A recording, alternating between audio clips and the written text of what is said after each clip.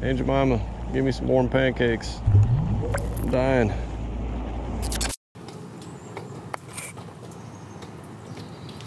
What is going on, fishing freaks? Welcome back to the channel. It is a rainy, nasty mess out here, but I figured we would take the adventure wagon out on its uh, first excursion on a little dangle trip. And today's video is sponsored by FishBrain. Now here just a minute, I'm going to tell you why you need to download FishBrain, and you can follow me right here on my handle. But first, I want to show you guys what the heck is going on around here. With the weather and with the construction on our home, uh, it's delayed me from getting out. Um, you know, like those nice weather days, uh, I had to be here and like help with the construction crew and everything, so I wasn't able to go. But today is kind of like a break, a small window uh, before the rain really starts coming in. So we're gonna shoot out to the lake. We're gonna race against time because uh, about 2 o'clock it's to start really coming down again. There's a lot of concrete work that's being done, rock work, um, all new irrigation, things that you know commonly come with a house we didn't have. Um, so we are putting all that stuff in right now, and with this crazy wet weather, uh, it's put a delay on some of it. So I don't have to direct any traffic today. I can go fishing. And I actually don't have the silver bullet here today because uh, my driveway where I keep the boat is in shambles right now. I mean, absolute shambles. Look at my boots. It is just gross out here. Uh, new wall built right there. Uh, I gotta take a pause on that. The masonry work. I can't even get into the driveway right now because there's just piles of dirt and rocks and, and gravel. And just look at the nastiness. So the whole idea there is to drive water away from our house because we've had foundational issues because we, we haven't had sprinklers, irrigation, anything. Water just runs under the house, causes shifting. And as you can tell, we have a lot of clay right here. Another big thing they did was take where all the gutters meet at the downspout. They made a pipe that runs all the way down here. And they just dug this ditch and then the water pops up right here at this little little doodad and when it comes out of there it runs down to the little creek. So that little mushroom cap hopefully is going to save us from a lot of shifting. So while they've been digging all this stuff up in this process, it's got the brain turning. Well, first of all, how am I going to get over here to my boat after, you know, I park right here? That, that used to be the walkway. So now I'm going to have to figure out some sort of walkway situation to get out around here get to the boat. And I thought, while we're doing that, why don't we just make a little trail over here to the old uh, chicken coop. And then I got to thinking another thing. We're actually not going to electrify the fence here. We're going to do a full-blown chicken wire enclosure. And the reason is we visited one of our neighbors. It's like three or four houses down. They have chickens. They have problems with the bobcats, as do we, and foxes and everything else. But they told us bobcats, kind of sounds like an AR, you know? Maybe somebody's shooting hogs right now. Interesting side note, they also said they trapped 20 hogs at once in their backyard. So, you know, I thought we had hog problems with just a couple. I mean, it is bad just across the little creek right here. We're going to do a full-blown enclosure because they said the bobcats would just get right in there. And I think they would find a way around the electricity because we have so many little ladders right here. You know, bobcats just go right up there, and jump in. They might get shocked on the way out, but they're going to get their meal. Main point is we got a lot going on around here, a lot of fun projects. So if you want to stay tuned for all that, you just hit that subscribe button. Just look at all the water in the daggum crispy right now. It has come a gully washer. And took the old adventure wagon for a short little mudslinging sesh. It performs well. We are not getting stuck in 2020. Enough of the updates, y'all. There's just one more thing I got to do to make the adventure wagon complete and ready for the next day.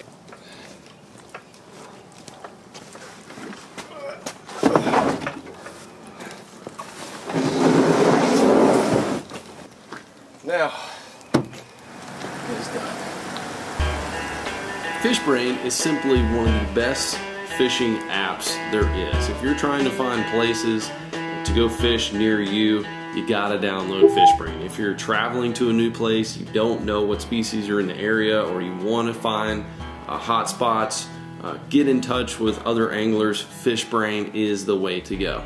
I say this all the time when I'm talking about FishBrain, but you will be amazed when you start to look at the waterways near you and see how many people are fishing and posting on the app. You could even find out the best times to fish in that particular area by using FishBrain's bite time technology where they calculate ev when everyone is catching fish in certain spots. Posting to the app is super simple. It has species identification. You can input all the data and it makes it super useful when you go back in time and you look at when you were catching fish at that time of year. So let's take a look at my favorite moments from fishing in 2019 using FishBrain. Obviously catching that big double digit largemouth is top on the list. Uh, it's not a PB largemouth for me, but it was an outstanding catch. Uh, caught it on a jig, one of my favorite lures to throw. Caught it on a, on a bed, sight fishing, one of my favorite ways to fish in the spring. And then shortly after that, I had one of my favorite crappie fishing trips of the year and other species I caught all together, including yellow bass and catfish.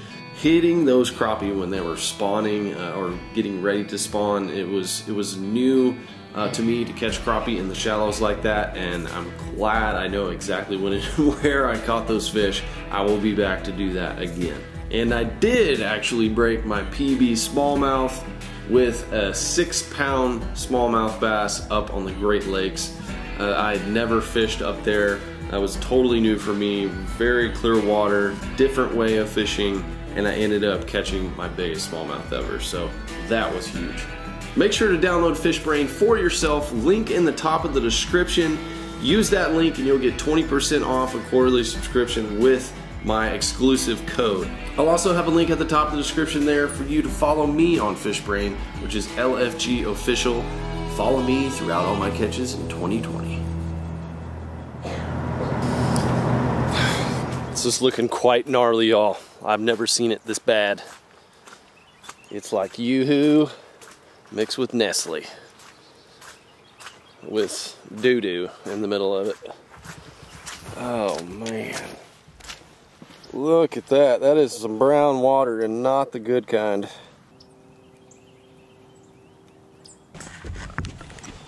Okie dokie. A little light rain. Let's get this party started. At least it's not freezing yet. Oh yeah, I've got the rain pants on. These pants still smell like goat. Like tahr from New Zealand. Oh yeah, got a stick. Got a big log stuck under there. Oh, this is where you need the rain boots, ladies and gentlemen. This is where the step sides come into play. Like I was talking about. Yeah. Oh! My boat is floating off. That is not a good deal there. Okay, we are in a we are in a bad way right now. We are in a bad way, ladies and gentlemen. Oh my gosh, what do I do here? Okay, we're gonna have to get wet. We're just gonna have to get, we're just gonna have to do it. It's either that or lose the boat. Oh, that is not how I wanted to start my day right there. This is a bad mother trucking deal here. Okay. Uh, here's what we can do. I'm gonna pull the, oh gosh, dang it. Oh, this is bad. This is really, really bad here. Oh man. Okay, put those there for now. Oh, absolutely soaked.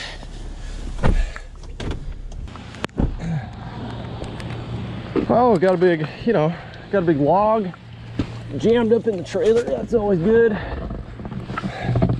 Oh my gosh, the hell is happening today?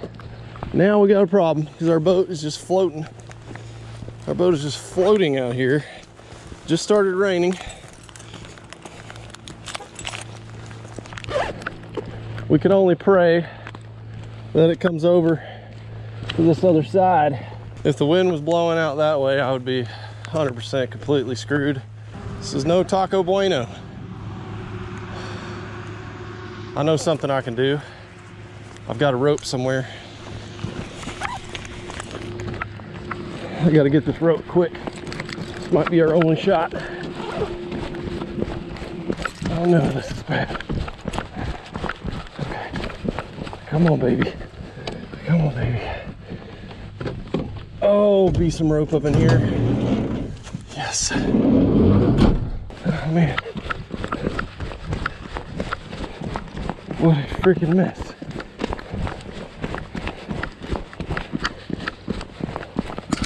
Okay. Oh gosh. Need you to come back. Shouldn't be too hard to make myself a loop here and get this baby back.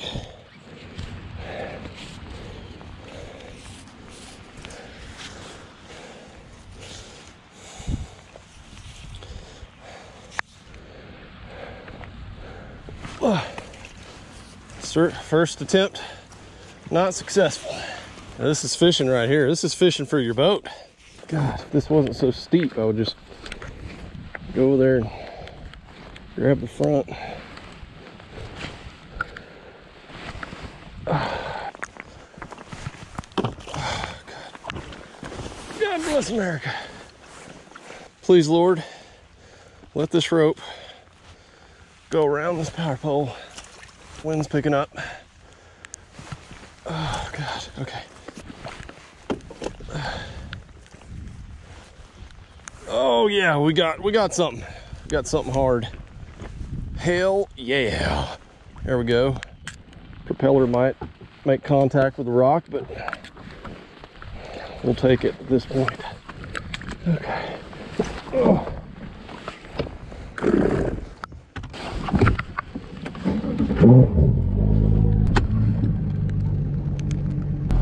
Well, if you're not entertained by that, I don't know what to tell you. Unfortunately for me, I, I'm wet now. Um, I'm pretty wet. My boots are soaked. Went in past my top of my boots. It's a real nice, real nice. Got to put those on the old Peet dry when I get home. I am definitely not going to get on pad here because there's probably some floaters. In fact, I could see some around me, but whew, thank you, Lord, there was no wind. The ramp was just so much higher. I backed it in at my normal level and it just took off. So that was my fault, but um, we're to use extra precaution out here. Just take it slow and kind of scan out the deeps and see if we can find something. I'm starting to mark some fish on these breaks here but they look suspended, which uh, I'm not surprised by since the water looks like, you know, mud. These fish are not grouped up, which is not what I'm looking for, but I'm gonna idle all around this, this creek arm. I'm gonna go out to the main lake, see if I can find the cleanest water and see where I can find the most fish stacked up. All those favorite memories of uh, last year, uh, I think I'm pretty safe to say this is not gonna be on my memory bank for 2020 this day. It is going in a southward direction and it ain't warm. And just to clarify, I am the only one out on the lake. Uh, not a single person is willing or they uh, they basically have the wits not to come out here. I, I am the only person uh, dumb enough or brave enough, whatever you want to say, to come out in such conditions if it was just raining, it would not be bad. It's just the water clarity's pretty terrible. First spot, unsuccessful. Can't say I'm too surprised by that. I think a lot of these fish, since they're suspended over this deep water, they're gonna be nearly impossible to catch because they can't see and they're suspended. So what I may have to do is, is look at where they are in the water column and try to find a drop that is holding them that's close to that, that depth. It's gonna be very hard to do, but I'm not giving up yet. We still got an hour and a half probably until the rain gets super thick, but it is getting a little windier and a little colder. A little, little fingertips getting numb. You know, it's like hard to tie knots. That's where we're at right now. Just in case there's some big dumb bass out there, I'm gonna switch up a tactic. Put on the old Recon. Grande Recon. So I'm actually marking quite a few fish in like 12 to 15 on this little break. And what I'm gonna do is just chunk this thing out there and see if I can dredge the bottom. Maybe I'm gonna get hung up. I don't know. I might hang into a 10 pounder. But there's these fish that are just hanging right there close to the bottom. And they, uh, I don't know what they are. They're pretty good size, so they're on a break. They very well could be largies. It's gonna take a lot to get their attention, and I think this is the just the thing to do it. You throw a big crankbait or a big spinner bait in water like this with big blades. Okay, no go on that little high spot. I'm going to try the dam because the dam goes out deep water and I'm trying to hit where those fish are suspending and hit these rocks. And maybe they're gonna be intersected right there. This is this is like the only thing I can think of that is a you know an obvious piece of structure that meets where they're going to suspend. Otherwise, it's going to be docks. But this way, I can keep this in the strike zone for a, a extended period of time and increase my chances of hooking one of these frigid blind bass. I'm going with the most flamboyant color I can find and it's you know chartreuse blue back well y'all it's uh it's just about two and i can hear the drops starting to get girthy. Got a little beef behind them now making some noise. Just an absolute beat down out here. Give me some campbell's chunky. This is a campbell's chunky moment right here. Hashtag campbell's chunky soups. Ew. oh poo. Yum frosty.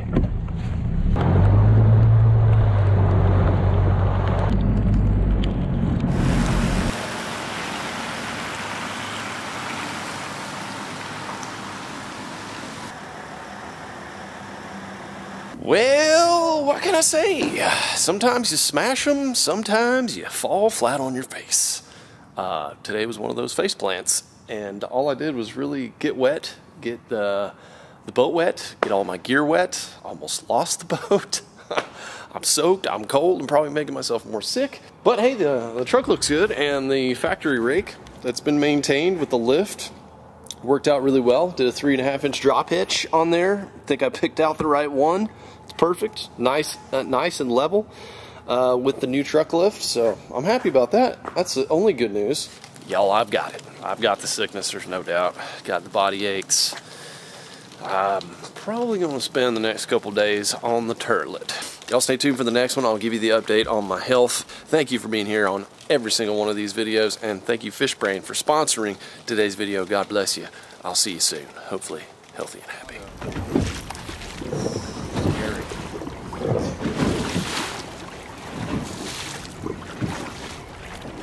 The boat's not moving, right? Like we're just... Yeah, I got a spotlight. Okay. Oh, here he comes. I got color. It's a big smallie.